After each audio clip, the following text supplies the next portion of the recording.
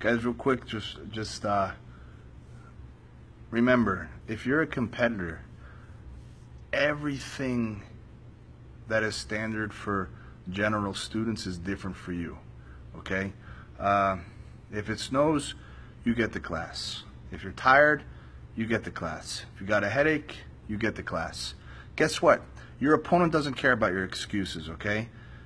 The referee doesn't care about your excuses. I remember uh, my grandfather, I was very, very close with him, okay?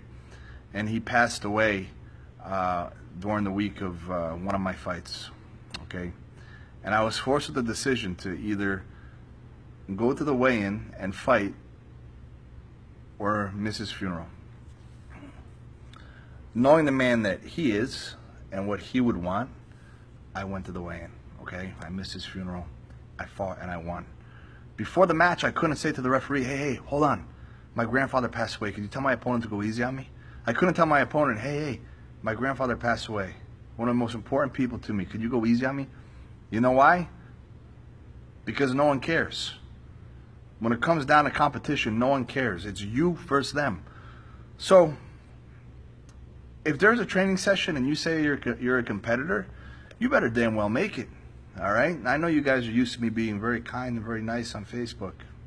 If you're a competitor, it's a whole different animal. It's a whole different ball game. There is no such thing as an excuse when you're a competitor. You're there. You sacrifice.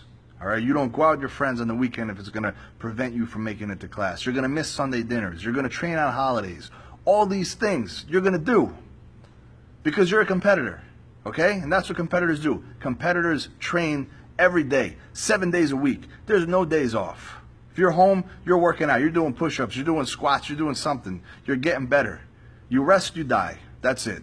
All right? You got the competition field and you're not properly prepared against someone who is, don't be so naive to think that you will succeed against someone who is more prepared than you.